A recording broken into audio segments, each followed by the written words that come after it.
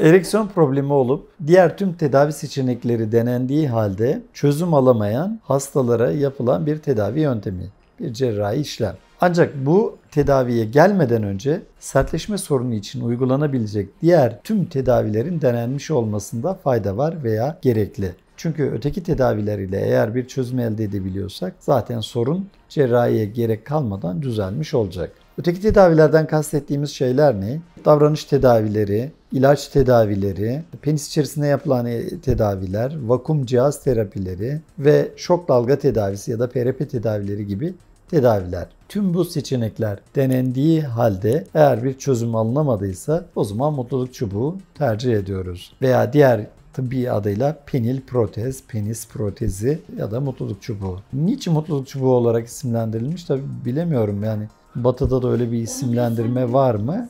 Ama Türkiye'de böyle bir yani jargon bu şekilde başlamış. Yani öyle diyebiliriz aslında o yani o arkadaşın şeyinde.